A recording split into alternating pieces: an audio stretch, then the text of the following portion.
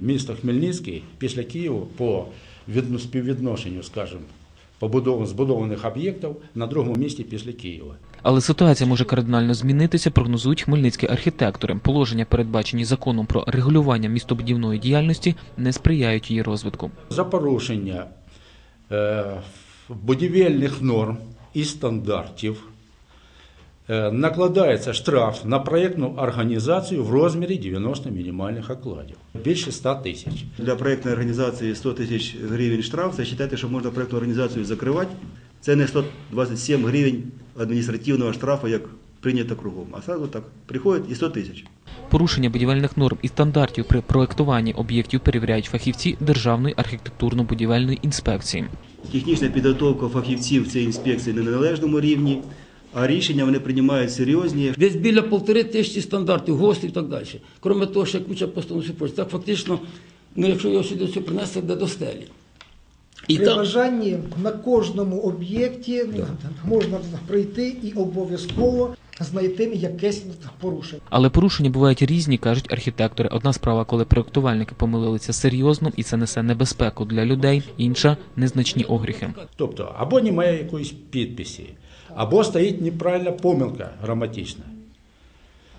Оце є порушення стандартів. Ми не проти того, щоб штрафи, да, воно дисциплінує і відповідальність, накладає відповідальність. Це воно правильно, так має бути. Але не може бути, щоб за любе неправове діяння в нашій сфері накладався один і той же штраф. Штрафи передбачені як для проектної організації, так і безпосередньо для спеціаліста, який виконував проект. от ви не пропустили в проєкті лічильник обліку води, який можна поправити. Це ж не на, це ж не на дорозі, це ж не на асфальті проїхав перехід. Получай 15 300. А де інженер візьме 15 300, як в нього зарплата середня ну, десь там 2 тисячі, полтори тисячі.